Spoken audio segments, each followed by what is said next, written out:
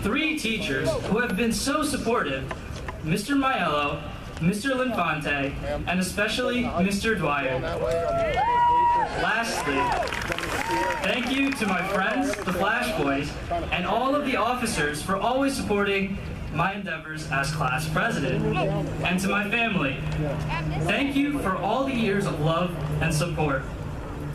So, I thought a lot about what I would say today. I could have made some analogy between choosing our futures and choosing what to get at Chipotle. FYI, guac is always worth the extra 220. It was a struggle because, honestly, why should I be giving any advice? All I know is that we are leaving Nutley High School. I struggled because I wanted to say something that was helpful or meaningful that people would remember. And then I recalled something that I once heard. Endings are never easy. We build them up so much, but they can never meet our expectations. And we often end up disappointed. It's because we all want to believe what we do is very important. Truthfully, consider yourself lucky if even occasionally you get to make someone, anyone, feel a little bit better.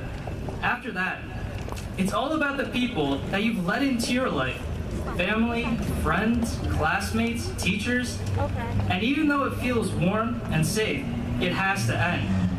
But let's take a trip back to the beginning. This day is so special because of the people that have been in our lives from the start. We started off as naive, tiny elementary school kids with young romances and best friends on the playground.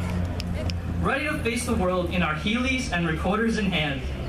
Remembering the rules of foursquare, wall ball, and kickball was our biggest source of stress. Then we moved on to middle school as awkward, brace-faced, and gossipy students where everyone knew everything about everybody. Dress codes were challenged, and Axe body spray and Hollister perfume seeped through the hallways. Finally, we made it to high school. There was more freedom. For many of us, we couldn't wait to grab lunch from one of Nutley's gazillion pizzerias.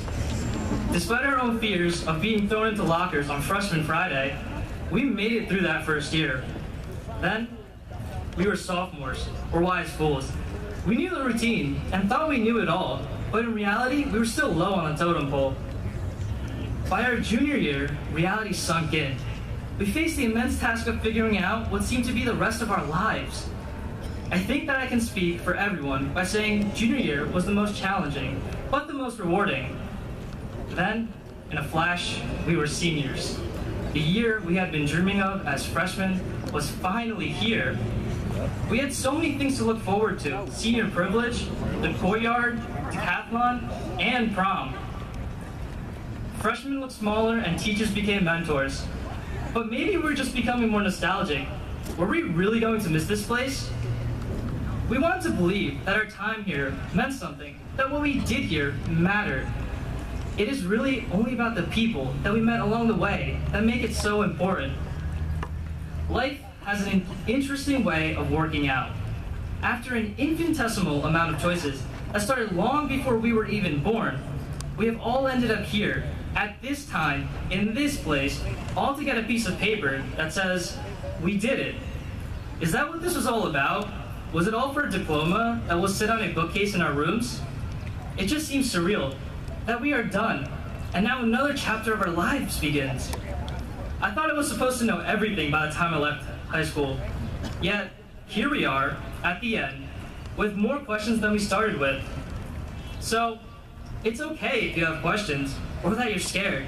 I'm pretty sure we all are. And after four years, it's not about the paper deadlines, it's about the people. That's what makes this experience worth having.